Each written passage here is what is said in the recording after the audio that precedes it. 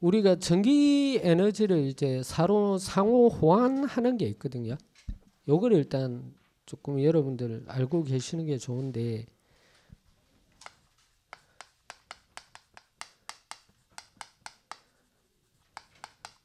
에너지 변환하는 부분을 여러분들 조금 알아 놓으셔야 돼요.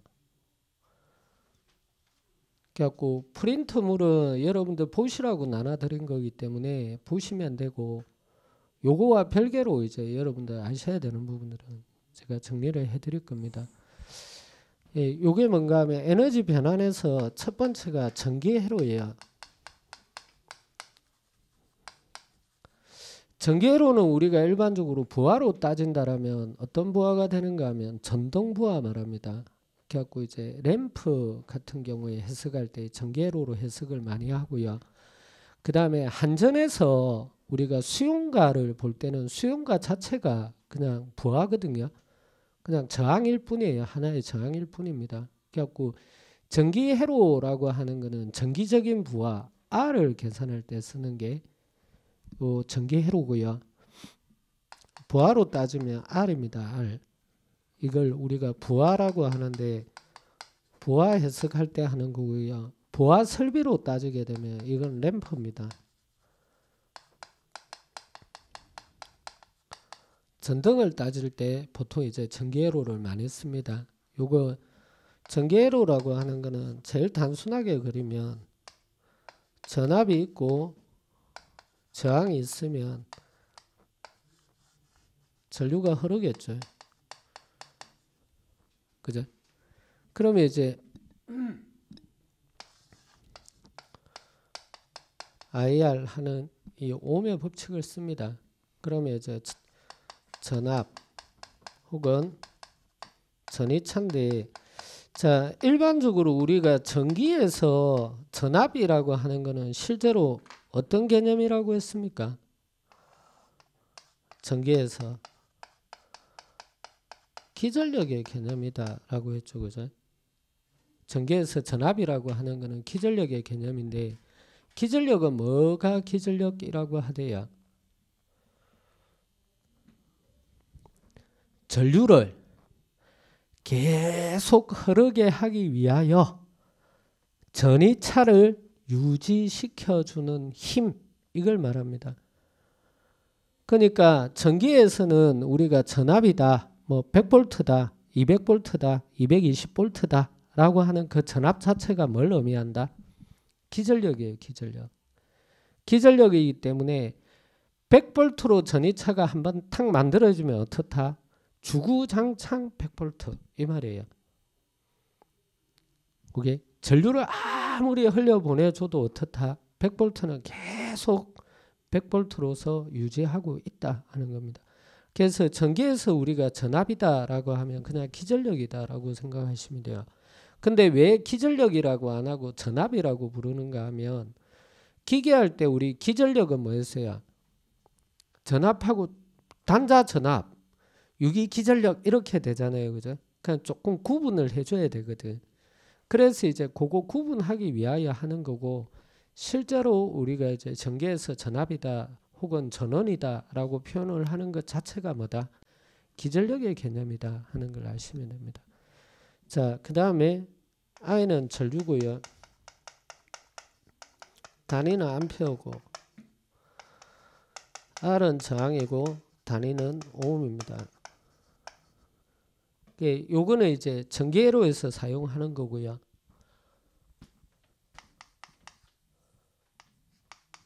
자기회로가 있습니다. 자기회로라고 하는 것은 부하로 따지면 어디에 가까운가 하면 L에 가깝습니다. 인덕턴스에 가깝고요. 요걸 이제 부하 설비 쪽으로 넘어가면은 못합니다. 전동이거든요. 자,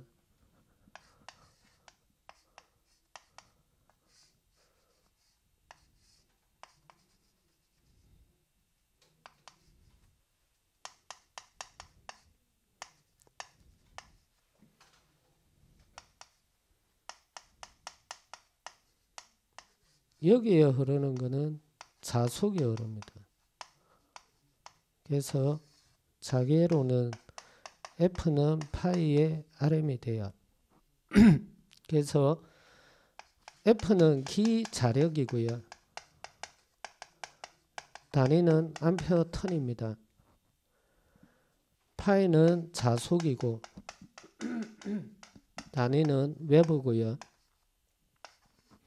RM은 자기 저항입니다. 단위는 암페어 턴 퍼 웨버가 돼요.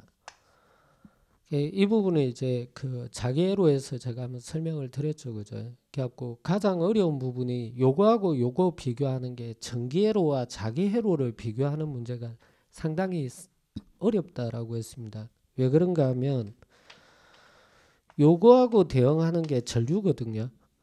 그래서 이제 요 대응 관계 때문에 자기 회로의 자속 밀도는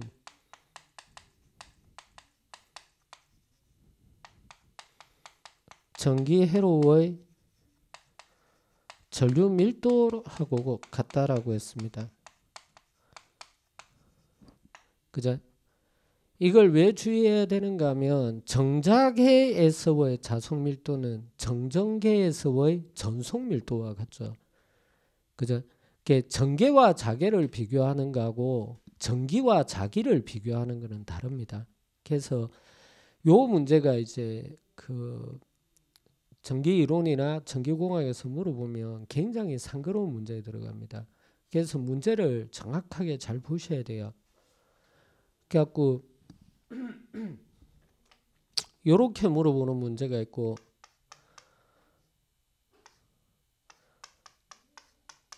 전자장의 혹은 정자계의 자속밀도는 정전기 혹은 정전계 의 전속 밀도와 같습니다. 요거하고 구분해야 되거든.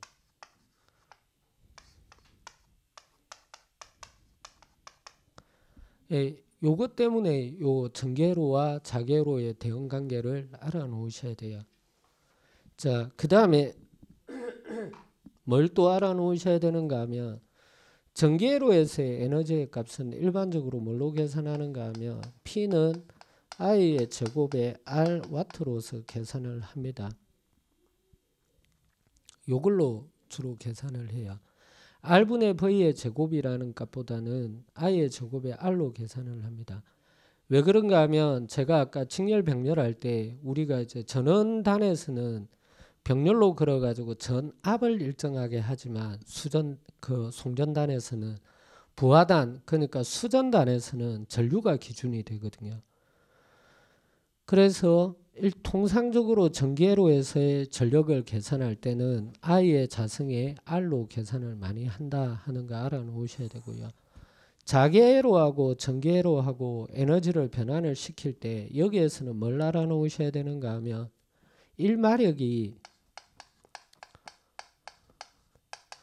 746와트로 된다 하는 걸 알아놓으셔야 돼요.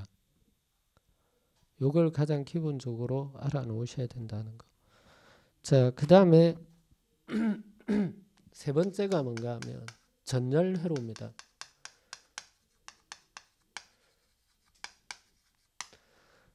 전열 회로는 이거 부하로 따지면 내나 R입니다. 전열도 R도 있고 L도 있고 C도 있는데요. 그 R을 우리가 저항 가열이라고 표현하고요. L을 유도 가열이라고 표현하고 C를 유정 가열이라고 표현을 합니다. 그래서 일반적으로 우리가 전기로라고 하는 거는 저항 가열을 말하고요.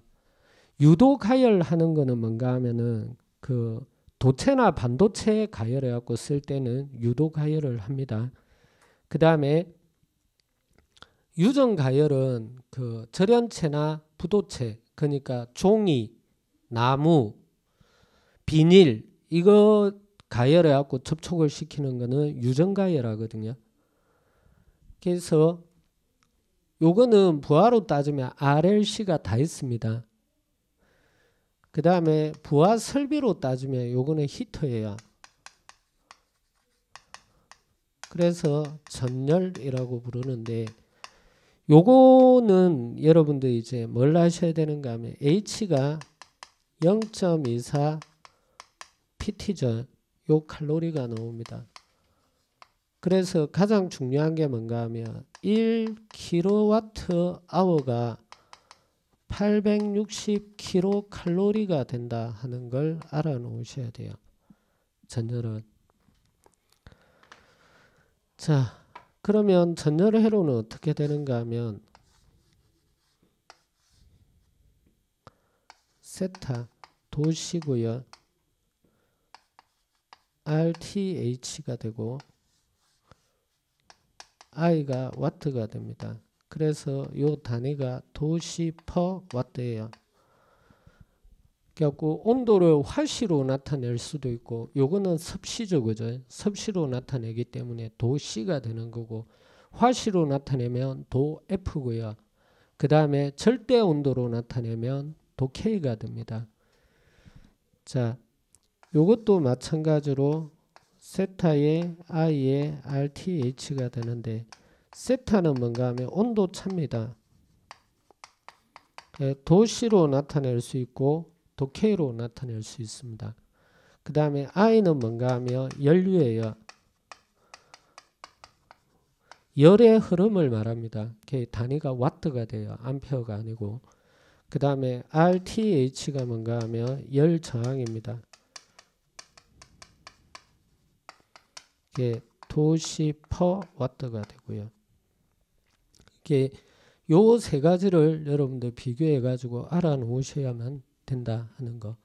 특히 이제 그 전열 회로 같은 경우에는 저것도 알아야 되지만 저것뿐만 아니고 이제 우리가 수업상에서 이제 이야기가 되는 이제 전류를 흘려 가지고 온도차를 발생시키는 게 있었죠. 그죠?